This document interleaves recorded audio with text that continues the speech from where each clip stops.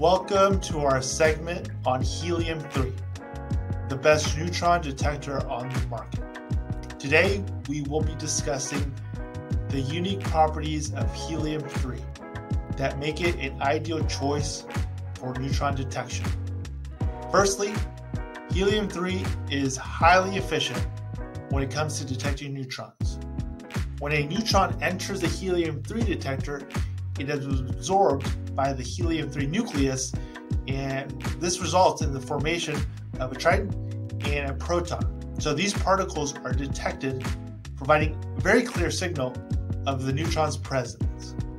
Helium 3 detectors are very sensitive and they can detect almost all the neutrons that enter them. Secondly, helium 3 detectors have a low background noise.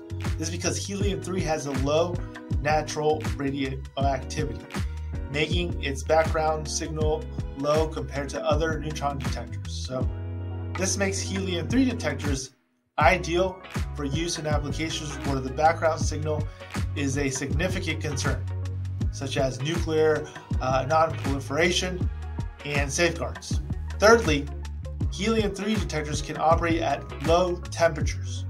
The sensitivity of helium 3 to neutrons is enhanced at low temperatures, making it ideal for use in applications where low noise and high sensitivity are critical, such as in nuclear physics, experiments, and research.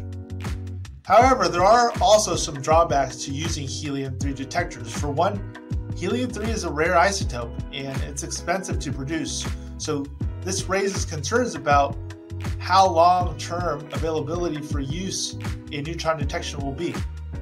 Additionally, helium 3 detectors are also sensitive to cosmic rays, which can cause false positives or incorrect readings, uh, limiting their use in some applications, such as in aviation security. But in recent years, researchers, have been exploring alternative neutron detectors to replace helium 3 detectors. But one of the most promising at the time, right now, is boron 10 detectors, which has a similar efficiency to helium 3 and can be produced at lower cost. However, boron 10 detectors do have a higher background noise compared to helium 3 detectors and do require a higher voltage to operate, which can limit their use in various applications. So that's all we have for today.